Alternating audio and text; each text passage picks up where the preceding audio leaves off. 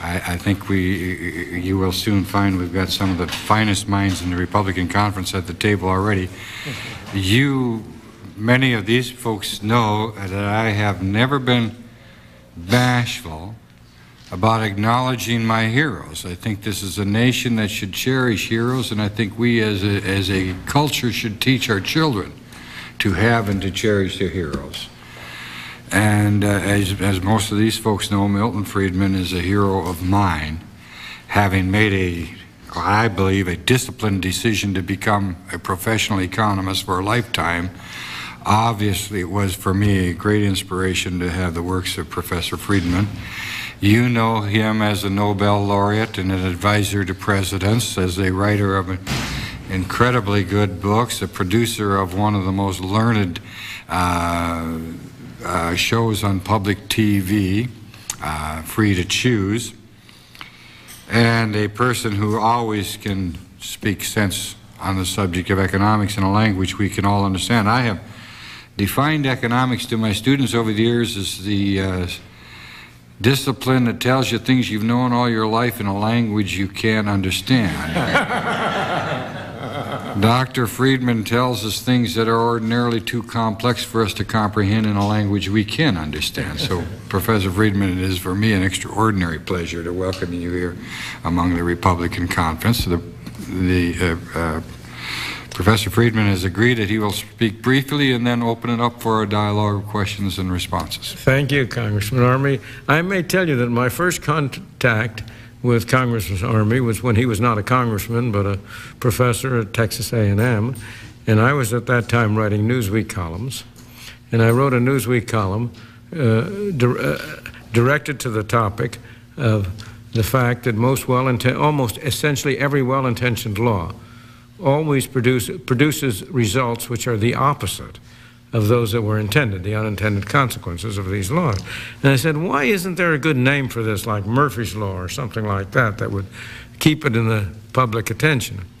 And I asked uh, readers to send in suggestions. And I got a whole bunch of suggestions. And the suggestion that I liked best and put was at the top of the list was from your colleague. And he said, why don't we call it the invisible foot of government? and I, I have been using that ever since. I give credit to Dick Armey when I do, but I think that was a marvelous way of putting it. Your mention of the PBS station is thing uh, is important from a different point of view. PBS is consistently hostile to programs that have a free market, private enterprise perspective. And the only reason why Free to Choose was ever got on public television was because a year before they had run John Kenneth Galbraith's series on uh, uh, Age of Uncertainty. And the contrast was so sharp that they were shamed into letting this on. But in 19, a few years ago, three or four years ago, we did a kind of a little update of Free to Choose in which we had five programs instead of 10, had new discussions, and included one new program dealing with Eastern Europe. And PBS, we could not get PBS to carry it. So I think one of the, it, it's a nice illustration of how uh, governmental agencies, which PBS really is, get turned into a, uh, propaganda agencies, not necessarily by those people who are supposed to run them, but by the simple bureaucracy. Because the board that's supposed, the PBS board that's supposed to run it is typically has uh, open-minded, public-spirited individuals on it who would be much more uh, tolerant of a variety of views. But the final decisions are made by the bureaucracy. That's the same thing you've experienced in the endowment for the humanities, endowment for the arts, the same thing everywhere. Uh, I, am going to, mostly I'd be delighted to answer any questions you have. I might say in opening simply that uh, I regard the economic problems we're facing as relatively as significant, but not of great importance, because what's destroying this country at the moment are not the economic problems.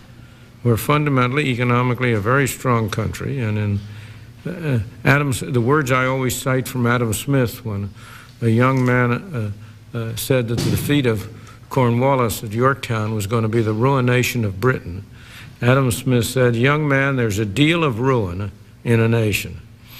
And there's a deal of ruin in nations. But the major problems we face are, in my opinion, the social, non economic problems of deteriorating education, collapsing families, uh, increasing crime and lawlessness. Uh, you can name them, you know the litany of them. Almost all of which have been produced by and are attributable to government actions. And that's the real, uh, government has done a lot of bad things in the economic area, don't misunderstand me. We all have a long litany of them. and those are capable of doing a great deal of harm over a longer period. But the more immediate present danger, in my opinion, is the harm that is being done to the basic character of our society by these non-economic social problems which government is at the source of almost invariably. Yes. Thank Well, you. let's go I'm ahead. sorry.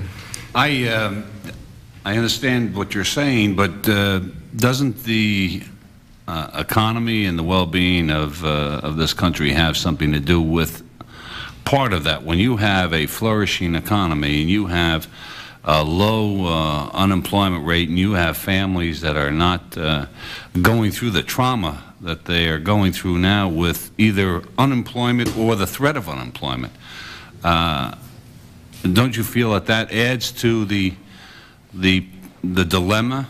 Uh, Very, to a very minor extent, but suppose you look at these problems and ask whether that's the source of them. The declining, deteriorating education has nothing to do with that. Deterior- you have deteriorating education because you have a government monopoly, you have a socialized educational industry, which is performing like all socialized industries. It's producing a bad product at high cost with uh, uh, small special groups getting great benefits and the large unwashed masses paying the costs. And that has almost nothing to do with the problems of unemployment or of economic conditions. Lawlessness, crime and uh, uh, uh, the growth of crime and the uh, unlivability of the inner cities has far more to do with a futile attempt to prohibit drugs than it has to do with unemployment or current economic matters. Uh, so I agree with you that what you're describing are contributing factors, and I would agree also that our present economic policies are bad. Don't misunderstand me. I'm not coming out in favor of those economic policies. I'd like I think government is too big and ought to be cut down to size. I think taxes are too high and ought to be reduced. I think government is largely responsible, is in considerable part responsible to the high level of unemployment. Let me cite you one figure that I came across recently that really I think will shock you. As we all know, in 1946, the government passed a Full Employment Act, which involved government taking responsibility for achieving full employment. The average level of unemployment from that day to this has been 5.7 percent. What do you suppose the average rate of unemployment was between 1900 and 1929, when federal government spending was 3% of the national income? 4.6%. Yeah, but there's a fundamental difference there. In that period, you still had tremendous American growth based on a rising demand from an increasingly prosperous middle class in the cities. You're ring, And what you had in the Second World War was where you had the lowest employment of the century. Why? Because everybody was fully employed. And uh, that's far different than what you've run into in a more static economy with less economic growth in the last 40 years. First of all, let's get the facts straight. In The early years of the 20th century saw an enormous inflow of immigrants from abroad. Right. The largest number, of, the largest flow of immigrants percentage-wise, all, almost all of whom were unskilled, had no capital, that surely raised problems comparable to those we have now. Second place, the period, the 25 years after World War II, saw the most rapid rate of economic growth of almost any 25-year period you can go back. The economic growth has uh, been slower, and productivity in particular has declined since about the 1970s, the early 70s. And I believe that has very little to do uh, with the level of unemployment. It has much more to do with the extent to which government spending was going up, government tax rates were going up, and you were taking away the whole incentives for achieving a rapid rate of economic growth. Much of the jobs of the early 20th century, you didn't need an education to get them. Physical brawn would take care of it. Of course. And that's why they Of course, but, so excuse me, sir, as the demand for more educated people came along, the more edu, those people became educated. They got the skill, they developed the skills. Let me give you a different example, if I may, because uh, that argument uh, doesn't face to the fact that people are very sensitive to incentives and we'll react to them. Here's Hong Kong, 1945 three or four hundred, five hundred thousand people. An enormous inflow of people from China, again, with empty hands for the most part, though some of them brought capital, some of them were entrepreneurs and businessmen, uh, mostly unskilled. And Hong Kong in its early days produced junk. It's now a high-tech place. No government involvement, very little. Government spending in Hong Kong never above about 12% of national income, of their national income, went from 400,000 to over 5 million, a tripling of a per capita rate of uh, income, level of income, and essentially no unemployment problem. You have unemployment because the government prevents people from being employed. Minimum wage law, the uh, fringe benefits that are required to be done, the all of the, you know better than I do, all of the burdens that are placed on an employer. And so what happens? Employers prefer to hire part-time people. They prefer to work their current people overtime. They try to put off as long as they can, adding more people to their staff. It's a very bad idea. But aren't people, it's always been a mystery to me. Why people, it should be thought that people are better off unemployed at, let's say, $3 an hour than employed at $2 an hour. Why are they better off unemployed at $3 an hour? Uh, Professor Friedman, let me intercede uh, a thought. One, to reinforce that point, the front page story on the German employment problems in today's Wall Street Journal focuses again on that point, what they've done to raise labor costs. Jan Meyer from uh, from uh, s- uh, the great state of Kansas, Kansas City Royals country, has a question. Yeah. Uh, I'm from the Kansas City area. Just before I came over here, Dr. Friedman, one of my legislative assistants, who is very bright, said that he went to the University of Chicago because of the free-to-choose um, programs. And so I think sometimes uh, when you do something like that, you don't realize what a big net you're casting and how wide the influence is. Um, I, I don't expect you to uh, react to this immediately, but I would like your thinking on something um, either either now or at, at a later time if you're more comfortable with it. Um, I've been very concerned um, with the fact that we don't seem to be able to get a handle on the entitlements in this country. And I always make a sharp difference between the entitlements and the trust fund programs. I'm not talking about Social Security or Medicare. I am talking about the, the programs where we describe the parameters in the law, and then if you fit into that parameter, you're, you're entitled to money.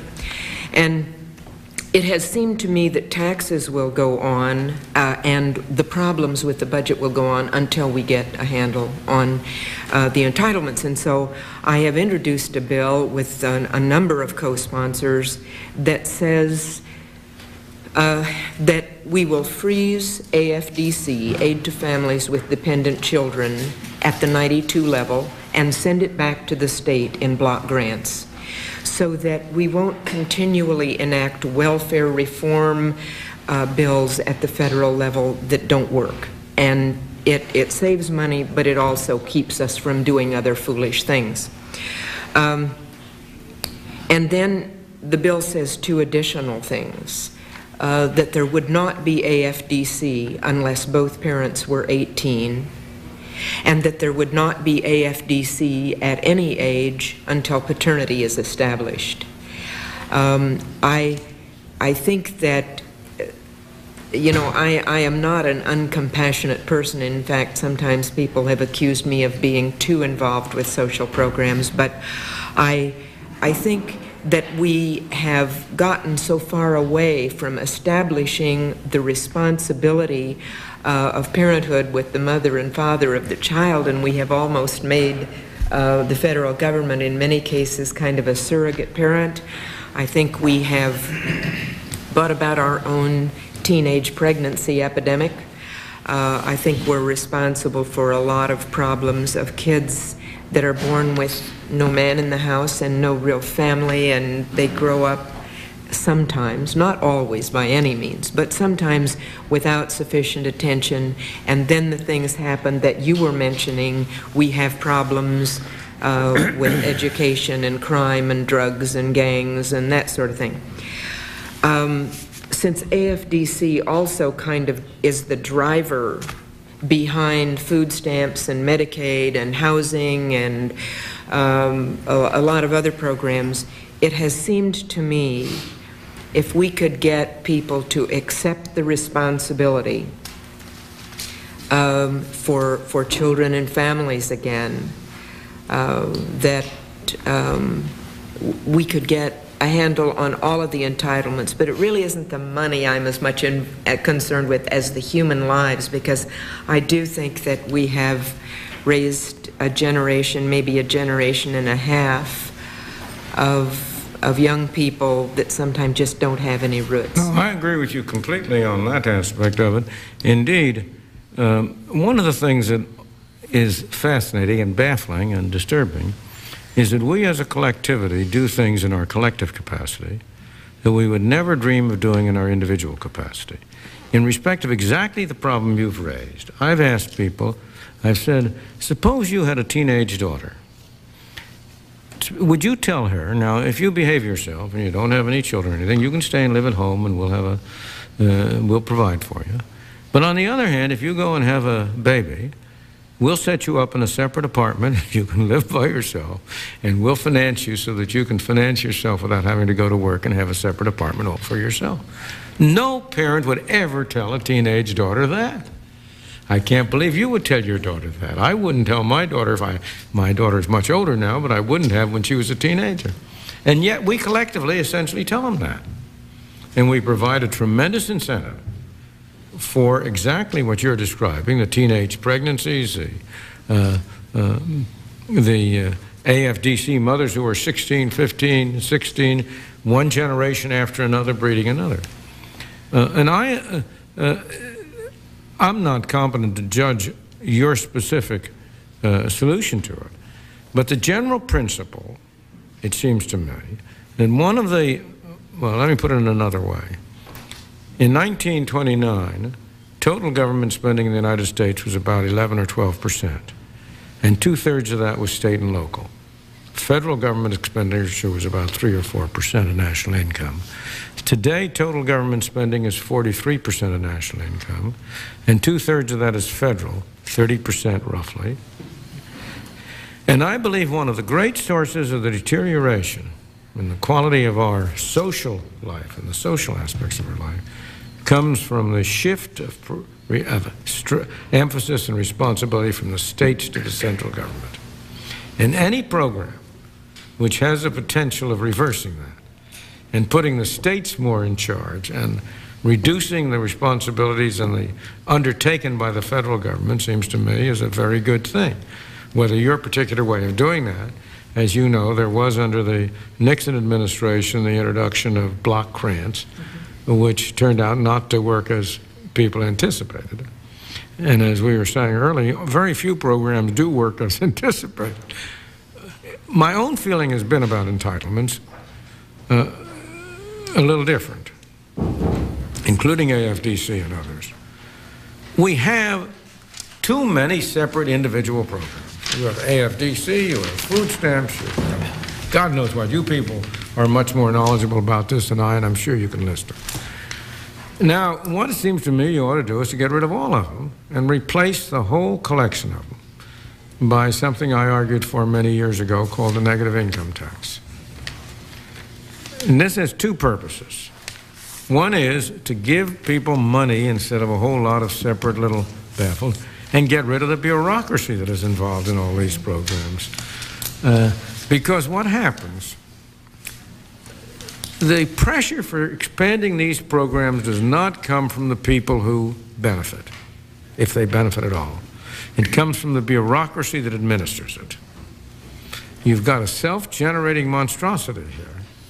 And so I would say if you can abandon, if you get rid of all of these other programs, however, the problem with the kind of thing you're advising is that it tends to be put on top of everything else. It's an added program. That's what happened to the block grants in the Nixon administration.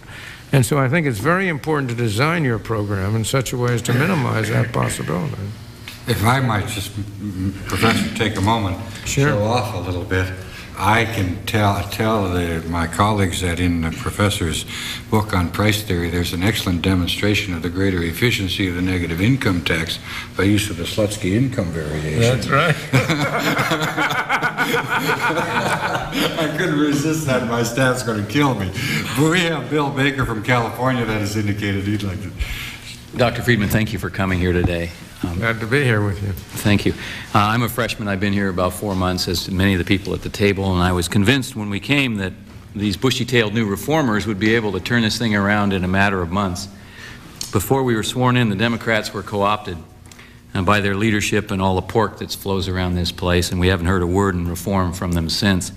Uh, the 47 Republican freshmen stayed together uh, for at least three months, but last week all but 12 of us voted for a placebo known as a enhanced rescission, which is worse than what we have now. So I've given up on the Republicans staying together. Question, if you were a freshman member, it's similar to being a mosquito in a nudist camp, what target would you attack first? The overspending or attempting to stimulate the private sector and overwhelm government spending by getting rid of, uh, let's say, capital gains tax, increasing depreciation allowance? Noting that we don't have a lot of chance to pass anything, where would you apply your time? Would you work on the reducing of spending or stimulating the real world economy? I, I, really am not sure I know how to answer that question because I fortunately or unfortunately have not had the experience. But uh, I don't believe you can, I doubt very much that you can separate it out that way. I think you ha either have to work on, you have to work on a package. You, uh, the most important thing I think at the initial stage is to prevent a rise in taxes of any kind, any shape whatsoever because that's going to increase spending. It's not going to reduce the deficit. Stop the bleeding, huh? On the capital gains tax, I believe that the Republicans have been, in my opinion, very foolish in the way they've approached that. Indexing capital, the basic capital gains, would do far more good than a cut in the tax rate. It's more potent in raising the value of property around the country. It's more potent in giving a stimulus to new investment. And I may say, let me go back. There's a good deal of talk around about how the Clinton program is a program of change. That's nonsense. The Bush program was a program of change. I think the talk about the 12 years of Reagan Bush is utter nonsense. Reaganomics, lower marginal tax rates, less regulation, uh, restrained government spending. The Bush program, as it worked out, raised marginal tax rates, increased regulation, increased government spending. As I, I, wrote in a Newsweek, as in a New York Times op-ed piece, my title was Reverse Reaganomics, uh, and they titled it, uh, uh well, you remember when uh, Bush was running for vice president, he called it voodoo. voodoo. And so they gave it a title, Oodoov Economics. But that's what, uh, what it was. And so now, so what's the Bush, on the economic side? The Bush program was higher tax rates, more regulation, bigger spending. What is the Clinton program? Still higher tax rates, still more regulation, still more spending. So far from being a change, the Clinton program is Bush writ large. It's an expanded version of Bush's program. Well, that's really off the track from your, uh, uh, from your comment. But I do think that the most essential thing is to stop the increase in taxes. Thank. Let me uh, uh, introduce Nick Smith from Michigan, another one of our freshmen.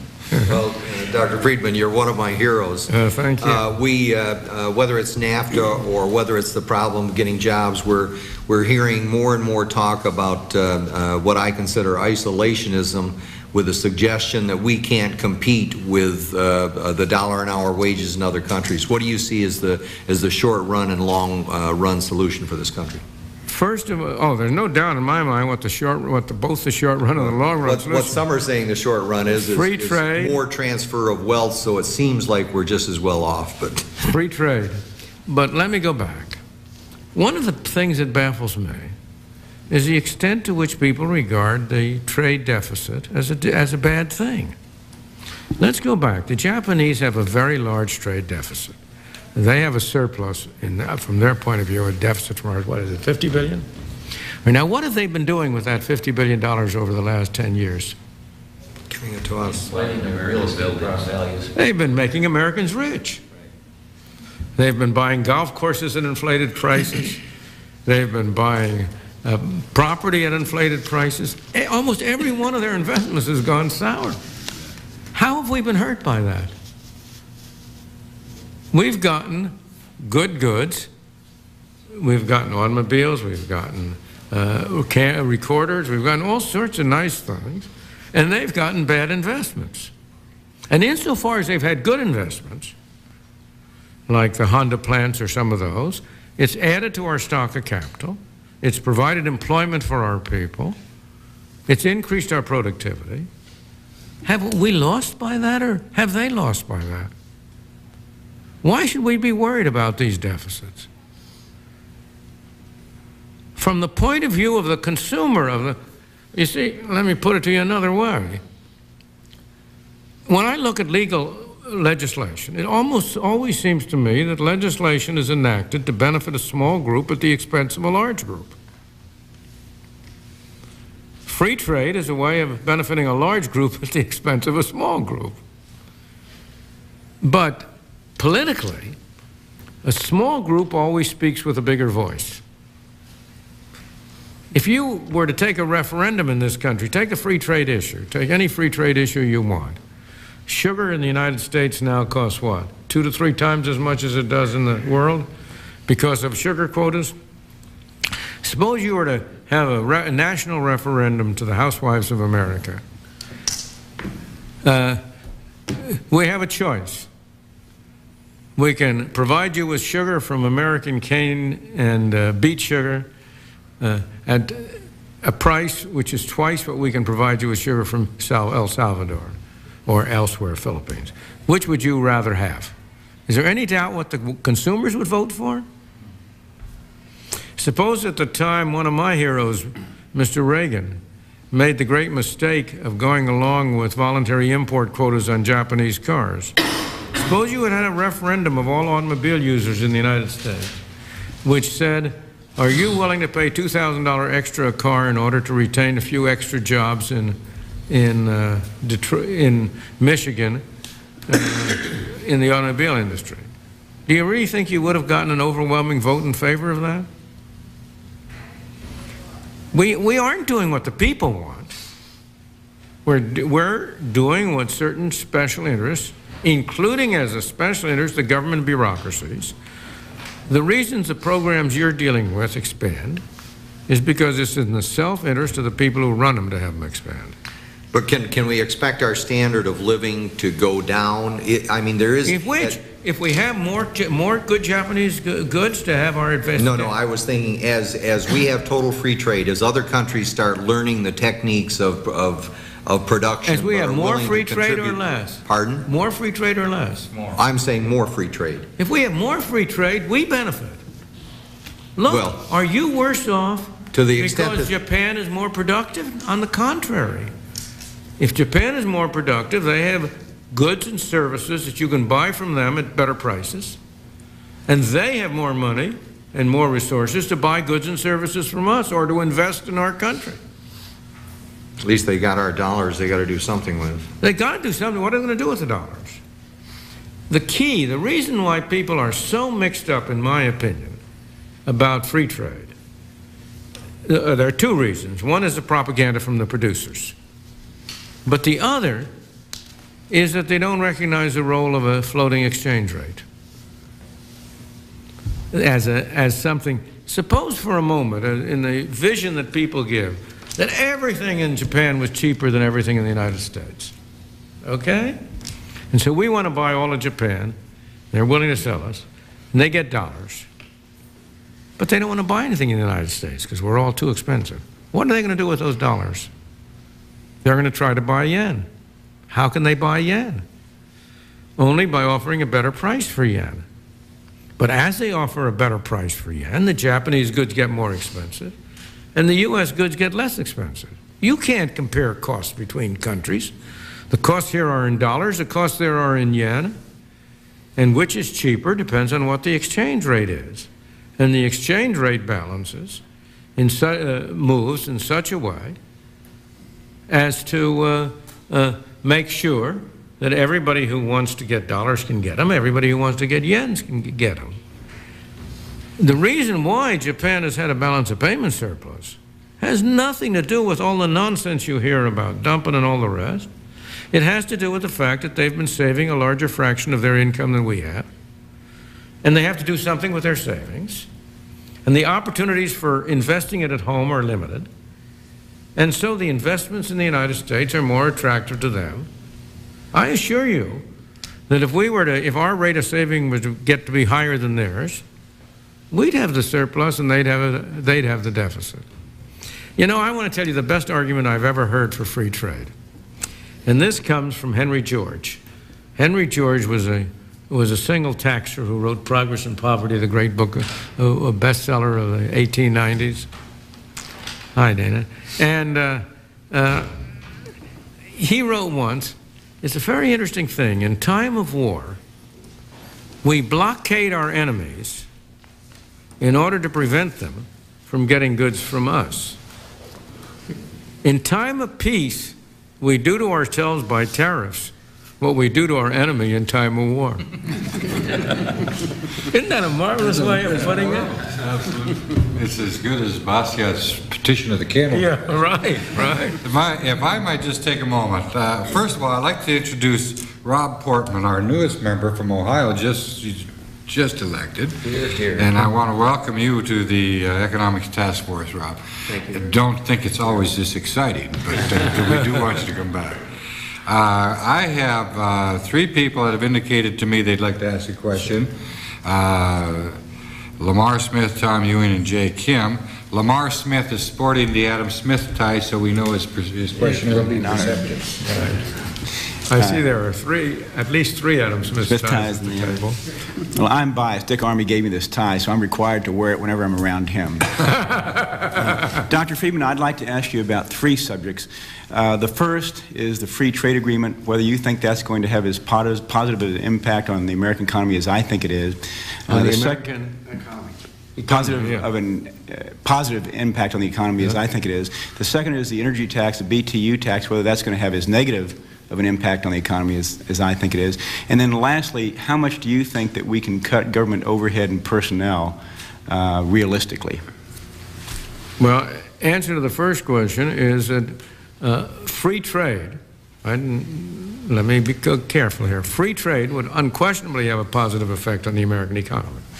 If we were unilateral, with no agreements, simply to abolish all our duties, quotas, and everything, you would have a period of great prosperity. Because you would suddenly be in a position to make the best use of your own resources and to acquire most cheaply from anywhere in the world those things that are going. The free, so-called free trade treaty, NAFTA, is not a free trade treaty. It's a managed trade treaty, and it has many provisions in it which I do not like. But taken as a whole, I think it's better than the alternative of what we have now. And taken as a whole, I strongly support it. And I believe it would unquestionably have positive effects for our economy. Uh, on, your, s- uh, Energy tax? on your second question, the energy tax, I am opposed to any taxes. of any kind. I, I've always said, I have a very simple philosophy on taxes. I'm in favor of cutting taxes at any time, anyhow, anywhere, for any reason. because the rule, I believe, is that government will spend whatever the tax system will raise, plus as much more as it thinks it can get away with. And I think you will find it hard to find any historical evidence contradicting that proposition. Yeah. So, as a technical economist, you can make a case for an energy tax, at least for some kind of an energy tax, on the ground of the uh, external costs that are imposed on others by energy, and in particular in the case of oil. You can make, there, as a technical economist, I hate to say this, but this is correct, economics, you can make a case for a special tariff on imported oil. Not all imported oil. Not for imported oil from Venezuela or from Canada or from Mexico. But because of the costs imposed on the country through military activity and otherwise, if a large fraction of our oil comes from, a, uh, from the Persian Gulf. However, I do not favor that in practice because you start that road, you'll, you'll never get off it. It's like the VAT tax. Technically, the VAT is a very efficient tax. Politically, it's absolutely a disaster because it's invisible, it's so productive that it's a standing temptation to the legislators to increase it. Every country in Europe that has introduced it has increased it. Every country in the industrialized nations, as Steve Moore got some figures up for me, mm-hmm. that has a VAT tax has a higher ratio of government spending to income than any country that does not have a VAT tax. So a VAT tax, I think, would be politically disastrous. But economically, it's a highly efficient technical way of squeezing the uh, suckers down below. so I'm not in favor of an energy tax. And the case I make is a very narrow one and would not apply to the broad-based energy tax you're talking about now. Uh, on the third issue, what was your third issue? The third issue is how much do you feel that we can Oh, cut yeah. uh, government overhead and personnel? Well, And by the way, I agree with you on the first two issues. uh, You know, I can't give you a serious answer on that because, in my opinion, the right size for government is about roughly one fifth of where it is now. As I believe that, that history suggests that total government spending in the United States, and that also has to do with a number of people hired and overhead, history suggests that the right answer for the appropriate total number, amount of spending is about uh, 10 to 15 percent of national income. I always say 10 percent. The church tithe, when Queen Victoria was at the peak of her power at the time of her jubilee at the end of the 19th century, total government spending in Britain was 10 percent of the national income. In the United States before 1929, government spending, except in time of war, was about 10 percent of the national income. So 10 percent seems like about right. And that would mean that you could get rid of four-fifths of it. But as a practical matter, I have never been persuaded that if you simply cut the number of people in every agency of government across the board by 10% once and then 10% another time, you wouldn't get greater output. Thank you, Dr. Friedman. By the way, I propose, I wanna tell you I, I propose that very same thing, cut 10% at least I want to give you a little, a couple of numbers that I, I, I like. I'm going to use it tonight in this talk I'm going to give. Uh, in 19, uh, 1945 or 50, there were 10 million people employed on farms, both owners, family, and employed. And there were 80,000 employees of the Department of Agriculture. Hmm. Today, there are 3 million people employed on farms, and there are 122,000 employees in the Department of Agriculture. If you want to know how to spend money, how to save money, you ought to start by eliminating the Department of Agriculture and all its appropriations. I'd like somebody to I'd like somebody to explain to me how it makes sense to spend $54 billion a year on a Department of Agriculture when the total net income from agriculture is 60 billion. Thank you. Does that make sense? Uh, uh, Let me just say, you I- I now know. know why he's one of my heroes. But you know, you also know that I'm an academic. Absolutely, and it's a lot safer for him to talk that way. I've always said that the only people who have complete freedom of speech are tenured professors on the verge of retirement. Well, with that, I'm long retired, so I have double freedom of speech. let me introduce Tom Ewing from your uh, state of Illinois, one of your... One of my former state of Illinois, sure. Yes, and, and from the uh, greatest agricultural district in the, And I would uh, just uh, point out that uh, two-thirds of the department's employees deal with food stamps and social programs and not with agricultural programs. Uh, Ed Madigan would want me to remind you. Um, The question I Let me take you back. Hold on, I want to give you another fact. One, one good fact deserves another.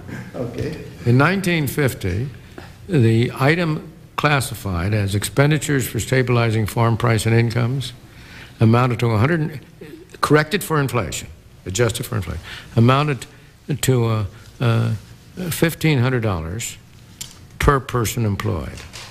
It now amounts, if I remember, to $4,500. And that's the strictly agricultural part. Doctor, thank you for coming in, but the question I, I really wanted to pose was not in the agricultural Yeah. area. Uh, Being uh, from a rural area and uh, being a pretty pragmatic uh, business person, I have been uh, very concerned about the escalating deficits and uh, feel that probably that's the most dangerous thing for the Ameri- survival of America as we know it today and our economy. And wonder what uh, some economists, some at the University of Illinois, which are in my district, say, well, our deficits aren't too large for our uh, gross national product. Uh, I happen to believe they are, and wonder what your thought would be on the Well- long-range effect of continued deficits. I do not believe that the real problem, is- uh, uh, I don't agree with you at all. Because the real problem is not the debt, but government spending. It's government spending which creates the debt that's the real problem, not the debt itself. Let me see if I can put this in a very simple way. There's a certain total amount of resources that the United States has available to it. Call it 100. If government spends 50, only 50 is available for private enterprise to use or private individuals to use for consumption and production and saving, investment. Now, so far, I haven't said a word about how this 50 is financed. Whether this 50 is financed 100% by what we call taxes or 100% by what we call borrowing, it's still true that the amount available to the, uh, to the private system is only half of what's of the total. And so it's this part that government spends that uses resources. Now, what about the, uh, what difference does it make which way it is financed? It does make a difference. What we call a deficit is simply a form of taxation. It's hidden taxation. It's taxation uh, in several, one of several forms. It may be, if it's, if it's really financed by printing money, then it's taxation in the form of inflation. If it's not financed by printing money, it's a invisible tax on all property because you own a piece of property. But you have to figure from the future income of that property that more of it will have to be taken from taxes in order to finance this debt that is here. So it's a, and those are bad taxes. They're not wholly bad taxes, but they're not good taxes. And therefore, I would prefer not to finance by deficits. On the other hand, when people talk about how much damage interest payments are doing to the country, I want you to name me any expenditure of government that does less harm than interest payments.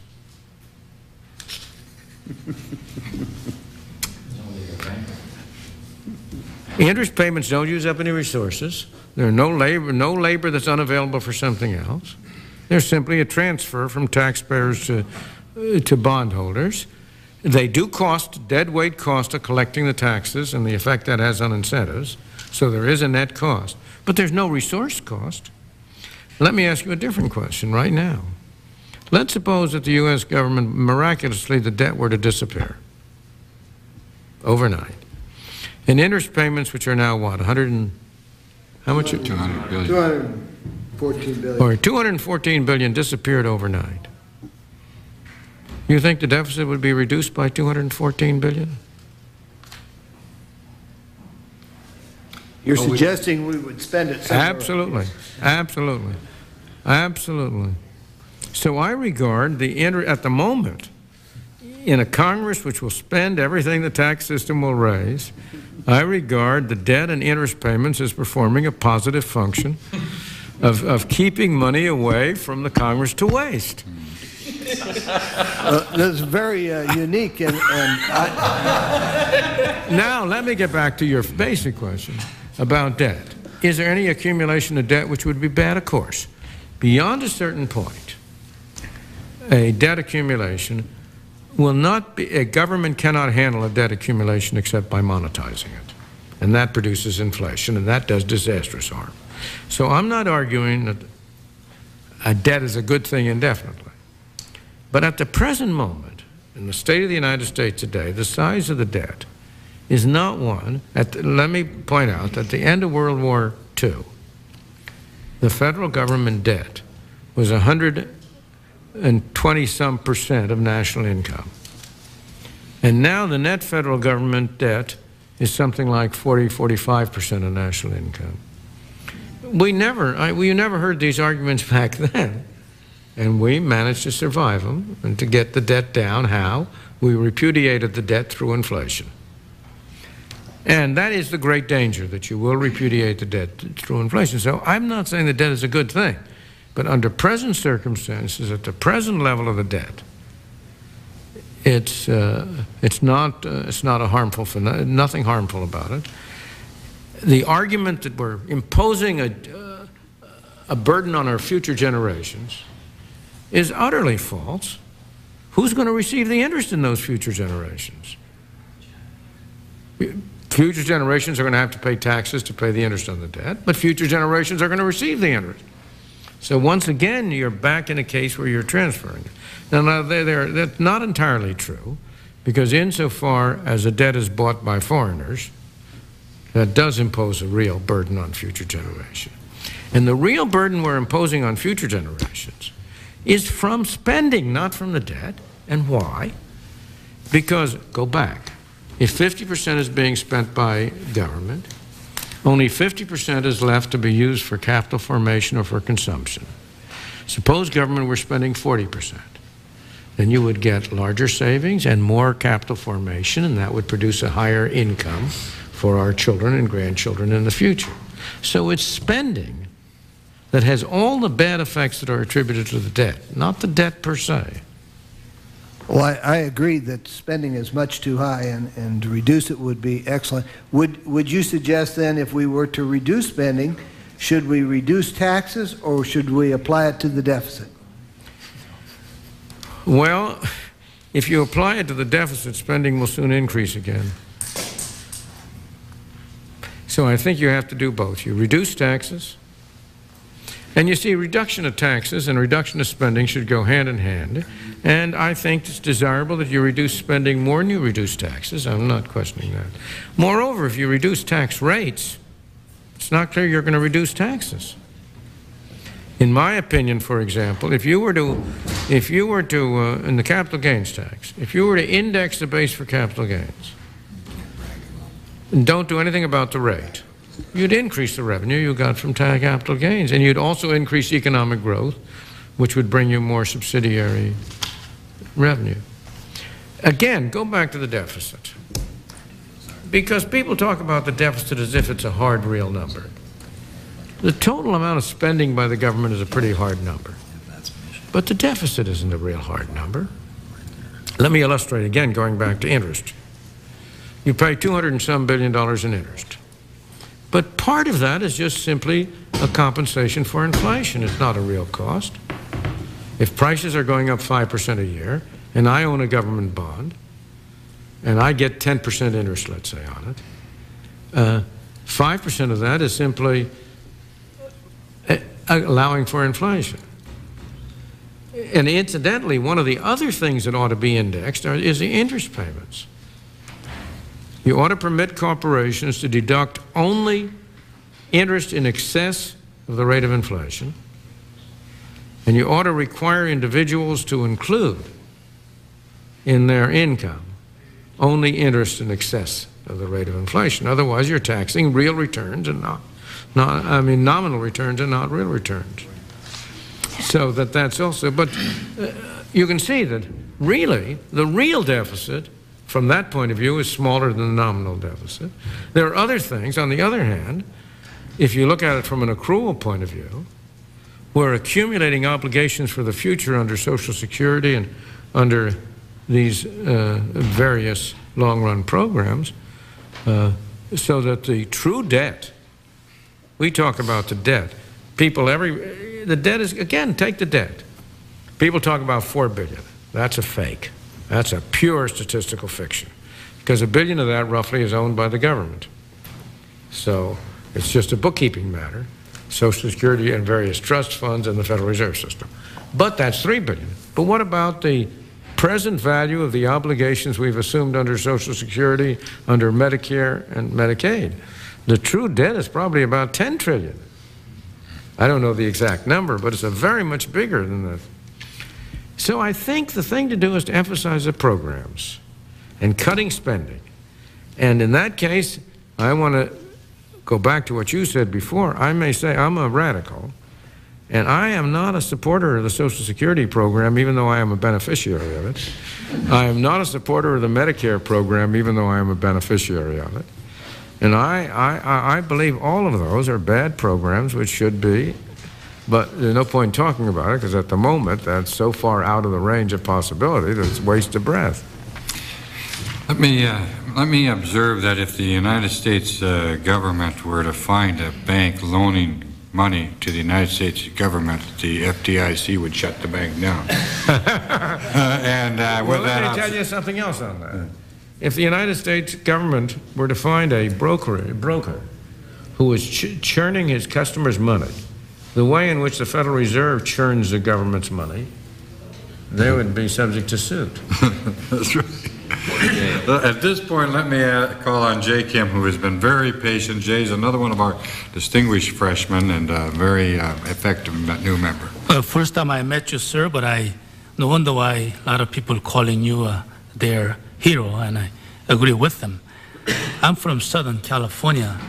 My district is not very far from Los Angeles, which had a riot uh, not too long ago.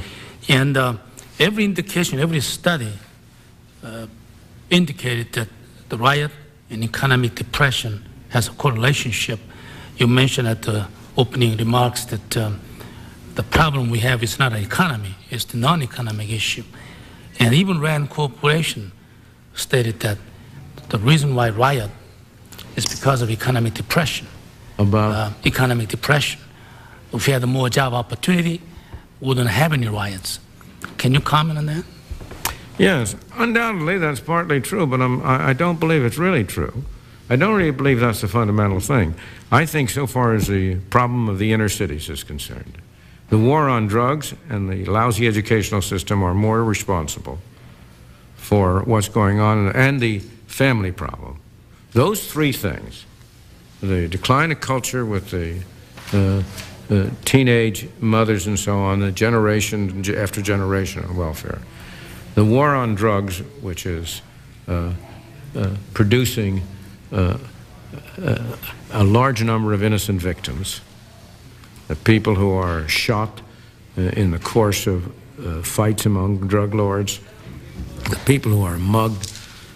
But in the case especially of the, of the inner cities, the fact that they're very, very ungovernability makes them ideal centers for distribution of illegal drugs.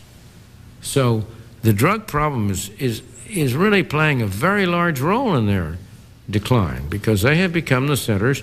They don't consume it, but people from outside, from the suburbs and so on, come in to buy it then.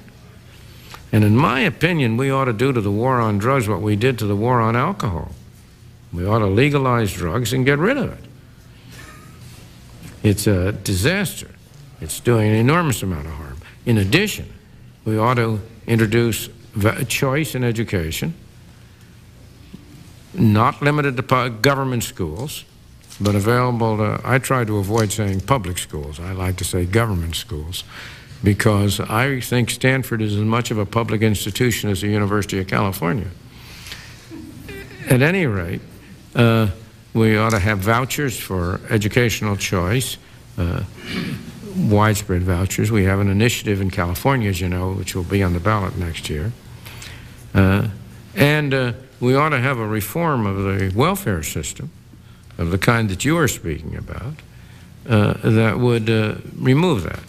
Now, undoubtedly, no, the problem, let me go back.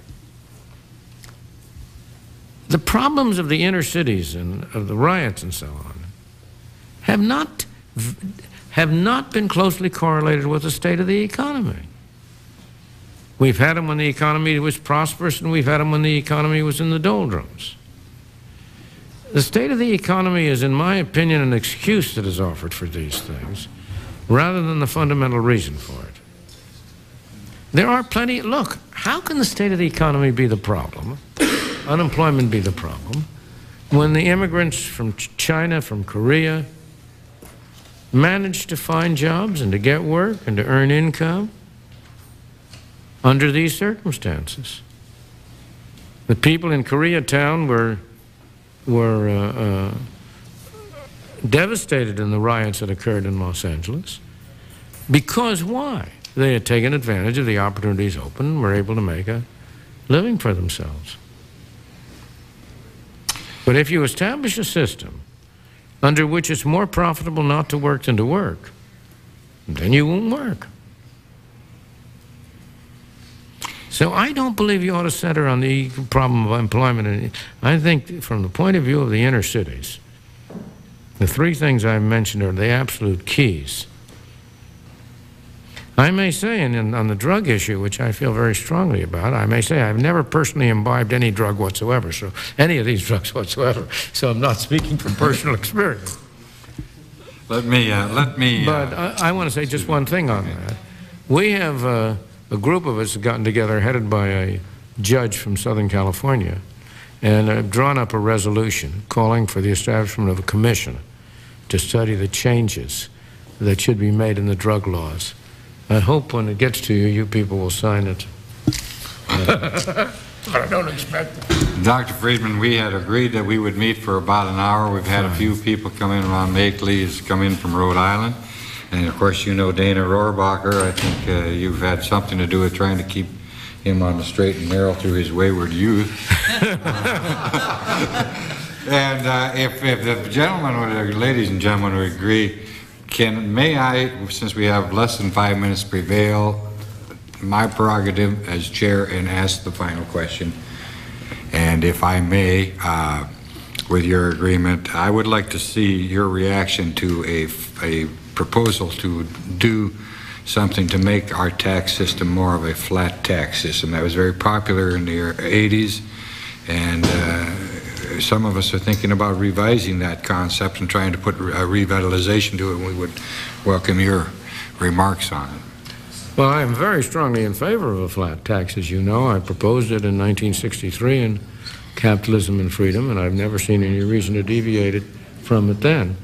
And I think that uh, the ideal flat tax in my system would be a flat tax not on income but on spending, but not by that, not by sales tax, but by the present type of income tax form, in which, however, uh, you are allowed as deductions all additions to uh, assets, and as uh, and you had to add all uh, uh, negative all additions to liability.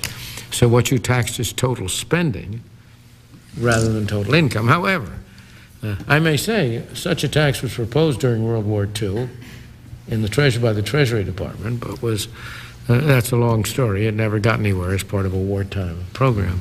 And uh, at the time, the Treasury drew, up forms that could be used to enforce it and so on. Um, but less radical would be to have it on income, straight on income. And a flat tax on income with a fairly large deduction, exemption. Uh, one of the things that has happened over the last 50 years is that the value of the exemption has gone down drastically. It hasn't, it's been raised in dollar terms, but inflation has more than made up for that. And I believe it would be very healthy to have a larger, uh, a larger exemption, and particularly for children, uh, a family uh, allowance. Uh, I, I can't say anything but more power to you.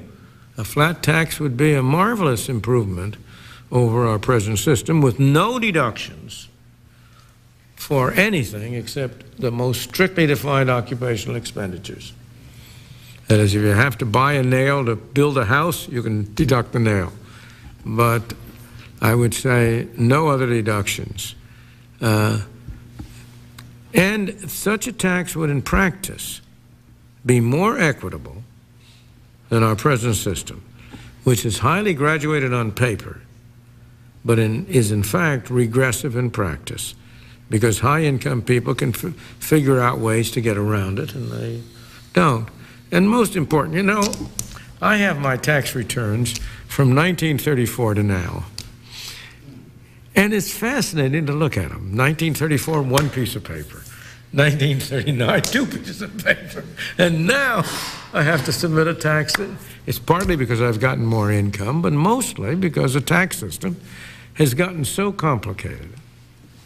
However, on the tax system, you're never going to get what you want on that for a very simple reason.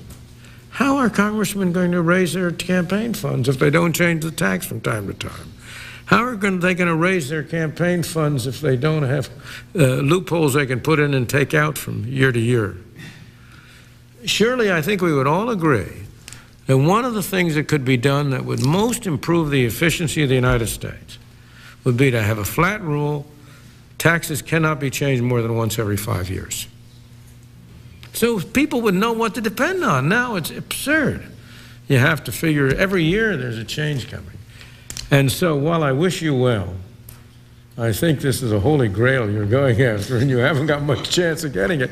Well, that's exactly the kind of challenges we, we appreciate, and we'd like to take them up. I want to thank you. I On the other hand, you know, if you get term limits, nice short-term limits, six-year term limits, the problem of raising funds for ta- for reelection might not be so crucial, and then you might have a real chance of getting a flat tax. Again, let me thank the always meddlesome Professor Friedman.